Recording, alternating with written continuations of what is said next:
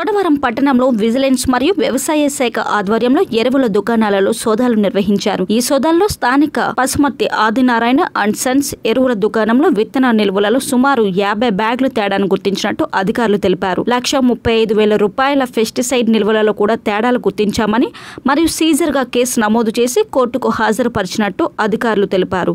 రైతులకు ఇబ్బంది కలిగించే విధంగా ఎరువుల దుకాణాలలో నకిలీ విత్తనాలు అమ్మకాలు మరియు అధిక ధరలకు విక్రయాలు జరుగుతున్నట్లు తమ దృష్టికి వచ్చిందని ఈ నేపథ్యంలో దాడులు నిర్వహించామని తెలిపారు. మండల అగ్రికల్చర్ ఆఫీసర్ చోడవరము. నా పేరు సృజన అండి. ఈరోజు పశుమతి ఆదినారాయణ అండ్ సన్స్ బ్రాంచ్ది ఇన్స్పెక్షన్ జరిగింది.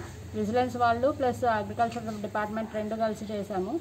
దీంట్లో మనకు సీడ్లో కొంచెం వేరియేషన్ కనిపించింది. ఒక ఫిఫ్టీ బ్యాగ్స్ వరకు అన్ని వెరైటీస్లో వేరియేషన్ కనిపించింది. దాన్నేమో స్టాప్ సేల్ ఇచ్చేసాము. ఒక ఫిఫ్టీన్ డేస్ వరకు ఇంకా సేల్ చేయడానికి లేదని చెప్పేసి మరి మాకు దాంట్లో కరెక్ట్గా అని తేలిన తర్వాతనే మరి వాళ్ళు సేల్ చేయడానికి ఉంటుంది సీడ్ తర్వాత పెస్టిసైడ్స్ వచ్చేసరికి వాళ్ళు లక్ష ముప్పై ఐదు వేలు వేరియేషన్ వరకు ఉంది.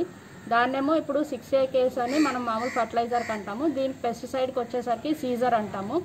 దాన్ని సీజర్గా బుక్ చేసేసి ప్రస్తుతానికి కోర్టుకు అప్పజెప్తామన్నమాట మేము ఇప్పుడు. తర్వాత కోర్టు దానికి ఎలా పరిష్కరిస్తుందన్న దాన్ని బట్టి మరి వాళ్ళు దాని ఫర్దర్గా వాళ్ళు చేసుకుంటారు. అంతవరకు ఆ స్టాక్ను అంతా మాత్రం మనము సీతారామ ట్రేడర్స్ వాళ్ళకు అప్పజించడం అవుతుందన్నమాట